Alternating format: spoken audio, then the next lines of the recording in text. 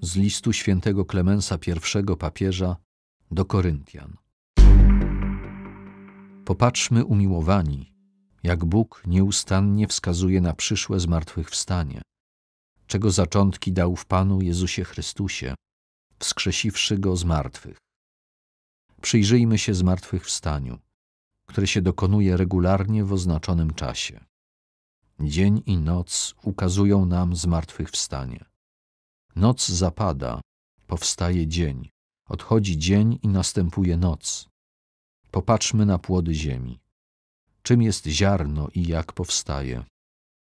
Oto siewca wyszedł i wrzucił w ziemię ziarna. Wyschnięte i nagie wpadają w ziemię i ulegają rozkładowi. Następnie cudowna Boża opatrzność budzi je z rozkładu. Z jednego powstają liczne ziarna i przynoszą plon. W takiej nadziei niech nasze serca przylgną do tego, który wierny jest w swych obietnicach i sprawiedliwy w swoich wyrokach. Ten, który zabronił kłamstwa, nade wszystko sam nie kłamie. Nic nie ma niemożliwego dla Boga prócz kłamstwa. Ożywmy zatem naszą wiarę w Jego obietnice i pamiętajmy, że wszystko jest w Jego mocy. Słowem swej potęgi ustanowił wszystko i słowem potrafi wszystko unicestwić. Któż powie mu, co uczyniłeś, albo kto się oprze sile tej potęgi?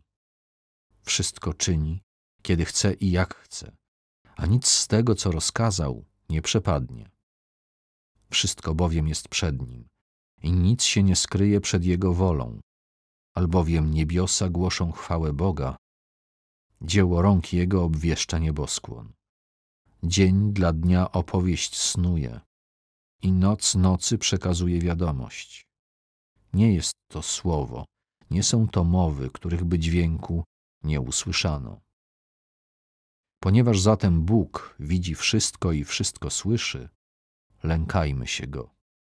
Porzućmy nieczyste pragnienia złych czynów, abyśmy na przyszłym sądzie mogli doznać opieki Jego miłosierdzia. Bo któż z nas może ujść Jego potężnej ręce? Jakiż świat mógłby przyjąć tego, co przed nim ucieka? Mówi oto na innym miejscu pismo. Gdzież pójdę i gdzie się ukryję przed Twoim obliczem? Gdy wstąpię do nieba, tam jesteś. Jeśli na krańce ziemi odejdę, tam również jest Twoja prawica. Jeśli w otchłani się położę, i tam jest duch Twój. Gdzież zatem odejść, albo gdzie uciec przed tym, który ogarnia wszystko? Zbliżmy się przeto do Boga w świętości serca. Wznośmy do Niego ręce czyste i nieskalane. Miłujmy miłosiernego i łaskawego naszego Ojca, który uczynił nas cząstką swojego dziedzictwa.